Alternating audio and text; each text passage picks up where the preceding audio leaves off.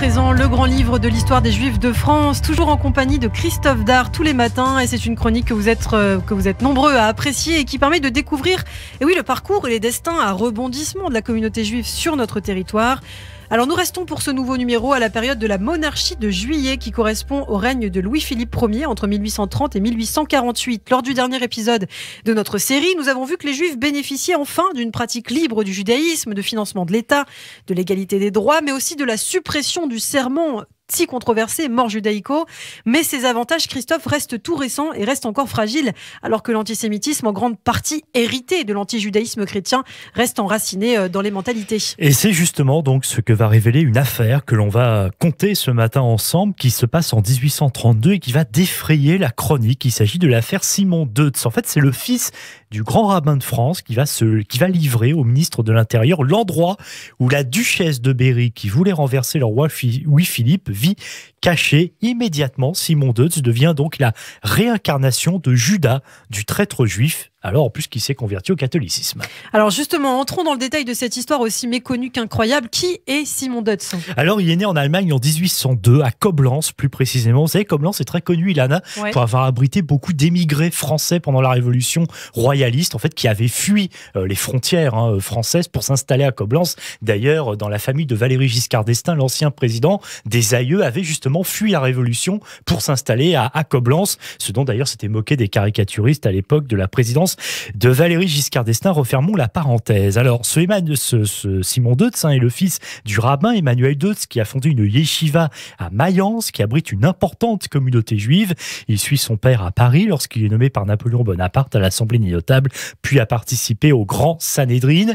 Emmanuel Deutz a été élu grand rabbin du consistoire central de Paris en 1810 au sein d'un triumvirat formé du premier grand rabbin de France, David Sinchheim, qui meurt en 1812, et d'Abraham Vita de Colonia, qui prend la suite avant de démissionner en 1826, année où Deutz, du coup, devient grand rabbin, tandis que, parce que c'est la première fois que cela arrive, Orly Worms de Romilly devient président du consistoire. C'est l'année où vous avez d'un côté le grand rabbin et de l'autre le président du consistoire. Simon Deutz a une vingtaine d'années lorsque son beau-père, le rabbin et directeur de l'école consistoriale israélite de Paris, David Drage, démissionne du consistoire et se convertit euh, au catholicisme. Cela est une pratique alors rare. Depuis la chute de l'Empire, on compte une soixantaine de conversions à peine, hein. mais certaines concerne des personnalités quand même importantes, ceux qui inquiètent le consistoire central. Et parmi ces personnalités, un banquier, Louis Dectal, le polytechnicien Mathis Mayer-Danlbert, le docteur Samson Lieberman ou encore Théodore Ratisbonne, petit-fils de Cerbère, qui avait euh, joué un rôle important, souvenez-vous, pour défendre les Juifs d'Alsace avant et pendant la Révolution française et fils du président du consistoire du Bas-Rhin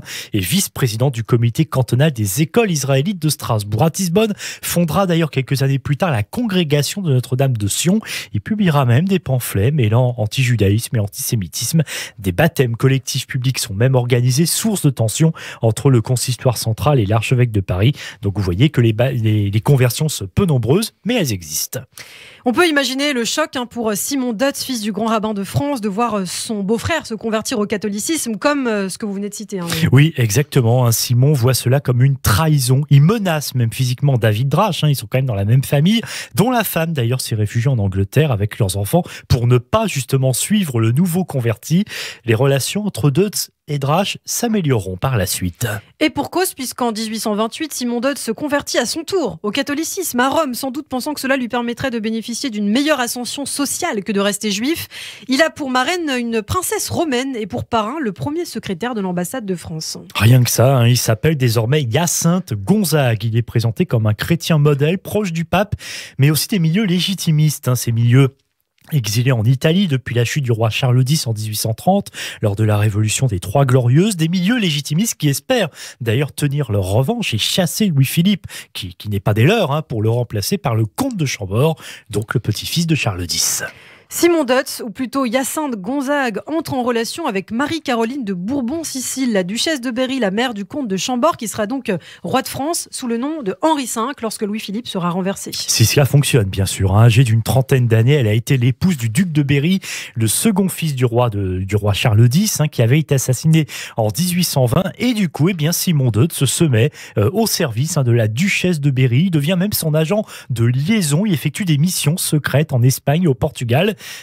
Mais l'espoir cède la place à la déception, car le Midi et la Vendée, qui sont connus hein, pour être des terres favorables au royalisme, eh bien, ne se soulèvent pas comme prévu. Et du coup, eh bien, la duchesse de Berry vit clandestinement à Nantes et elle attend de quitter la France par bateau, hein, sans doute, pour repartir en exil. Et au printemps 1832, Simon Dutz, pourtant proche de la duchesse de Berry, écrit une lettre au ministre de l'Intérieur d'alors, Montalivet, dans laquelle Dutz parle de menées légitimes qui risquent de provoquer une terrible guerre civile et que pour éviter cela, eh bien, il se met euh, à la disposition du gouvernement pour donner le nom de l'instigatrice du complot. Et ça porte un nom, cela, c'est retourner sa veste, effectivement, euh, Ilana. Alors la lettre va rester sans réponse. Et puis une deuxième également. Alors là, on se dit, bon, bah, ça n'ira pas plus loin. Il y a même une entrevue à Paris avec Montalivet qui ne donne rien non plus. Oui, mais bientôt, bientôt ce Montalivet est remplacé par Adolphe Thiers au ministère de l'Intérieur. Et oui, eh bien, il prête une oreille très attentive à ce que lui dit Deutz et lui promet même une très grosse somme d'argent. On a parlé à l'époque quand même de 500 000 francs en échange du nom et de l'adresse de celle du coup qui menace la France. Alors Deutz se rend à Nantes, hein, comme si de rien n'était. C'est là que se cache la duchesse de Berry et quelques soutiens dans une logette d'une maison que l'on ne peut trouver qu'en déplaçant un panneau. Franchement, c'est digne d'une maison mm. hantée ou, ou d'un film de fantaisie. Enfin bref, du coup, eh bien la police, ça ne, ne sait pas la duchesse de Berry, suit Deutz et du coup, eh bien lorsque la duchesse de Berry ouvre et sort de sa cachette, bah, évidemment, elle est arrêtée puisque derrière Deutz, il y a la police hein, qui s'est euh, engouffrée et du coup, eh bien euh, la jeune femme est emprisonnée dans la forteresse de Blaye, près de Bordeaux. Et lorsque l'affaire est dévoilée, Deutz s'étonne par tous les bords politiques et c'est un déferlement de haine qui se propage. Simon Dutz coche toutes les cases des antisémites, juifs, étrangers et apostats. Parmi les auteurs qui vont s'en prendre à Simon Dutz, notamment Victor Hugo. Et oui, il est alors monarchiste et proche des Bourbons. Oui, il faut jamais oublier effectivement que pendant les 30-40 premières années de sa vie, hein, il n'est pas le farouche opposant euh, à Napoléon III et le fervent républicain qui sera par la suite.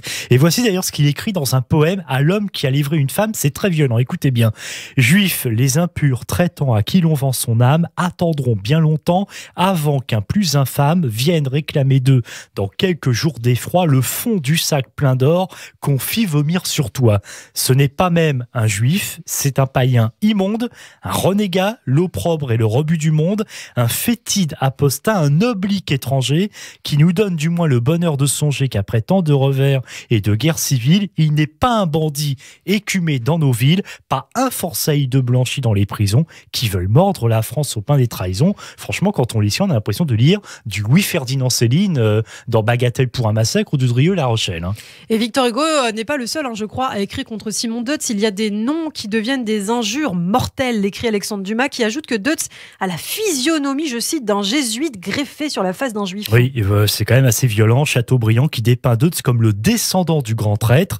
Et la notice du grand dictionnaire universel du 19e siècle hein, de Pierre Larousse évoque un juif apostat, animé par des idées vaniteuses et des instincts rapace. Et plus tard, c'est pas un hasard, à la fin du 19e siècle, les détracteurs d'Alfred Dreyfus le comparant justement à Deutz, notamment le fameux et sinistre Édouard Drummond, l'auteur de La France juive et fondateur du journal La Libre Parole, dont on parlera un peu plus tard. Simon Deutz, qui abjure le catholicisme et redevient juif, écrit un ouvrage où il tente de se défendre, Arrestation de Madame, publié en 1835. Mais très maladroitement, d'autant effectivement, vous l'avez souligné, qu'il abjure le catholicisme pour redevenir juif. Donc c'est très compliqué à comprendre.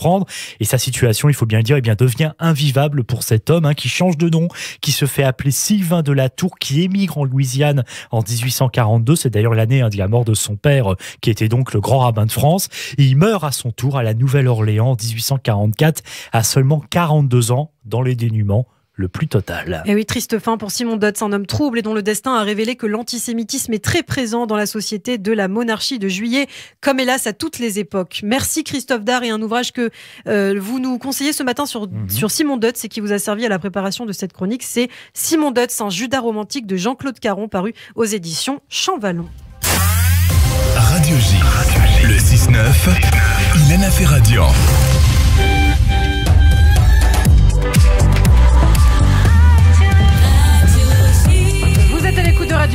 de votre fidélité. 6h30, nous sommes ensemble jusqu'à 9h. Tout de suite, le journal avec Christophe Dar.